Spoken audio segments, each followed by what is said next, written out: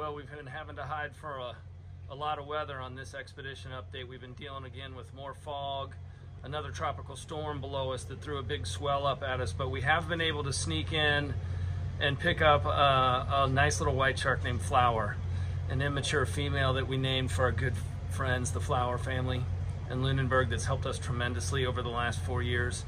So it was really fun to be able to you know, name a shark for them. We're, we're just so grateful for all the people here. So good trip so far. Just dealing with a lot of fog, wind, and swell. As you can see, we're hiding right now um, as we start to wind down the trip. We're looking forward to some community engagement in Lunenburg on the 29th. So if you're in the area and you want to come down and get an expedition update, come on down. We got the ship tied up behind the museum.